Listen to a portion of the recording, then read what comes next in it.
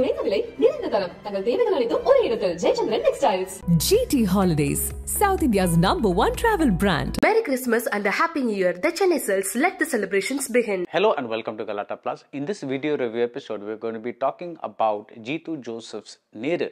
The film is a solid courtroom drama woven around a blind rape survivor. A cop comes into a house to investigate a rape complaint. He is received by the survivor's father, a businessman who runs a curio shop. The man is also a sculptor who has taught his stepdaughter his skills. Yes, the 20 something survivor who is blind is his second wife's child and he has two other sons from his earlier marriage. Neru has been written by director Jeethu Joseph and Shanti Maya Devi. It is a pure a writer's movie. This is not something you watch for the craft or for the staging. You watch it because each of those details about the father, the mother, the stepdaughter, the sculpting, everything comes together in a satisfactory knot. This is the kind of movie where the leading man, the loser lawyer played by Mohanlal, is pitted against his rich and successful ex-girlfriend, a shark of a lawyer played by Priyamani. Dramatic doesn't even begin to describe the setup. The film works at a watchable but nothing more level, so let's look at why it could have been so much more. The Mohanlal Priyamani relationship for one could have been exploited more.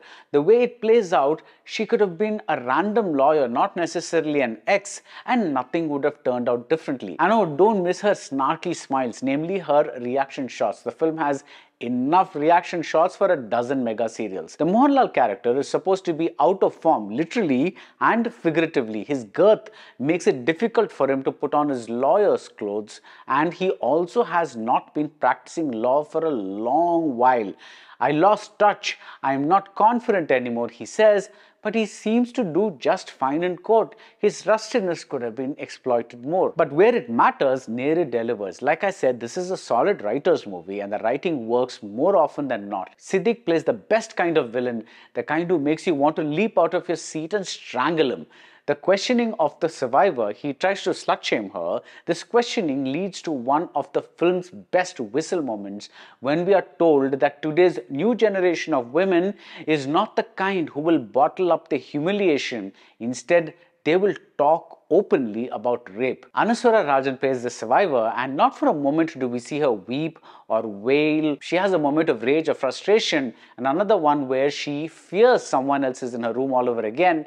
These small psychological touches make her human instead of a victim. Her last scene is tremendously moving. She makes a statement without uttering a single word. Mohanlal is in good form as a man who seeks justice for the rape survivor. If he underplays his part, it's also because a lot of the time the writing is understated. One of the times it is not understated is when pre-interval the accused man is proved guilty in the eyes of the audience. Without this scene, there might have been some more interesting ambiguity about what really happened. But apart from the bad guys, none of the people are shown in conventional colors.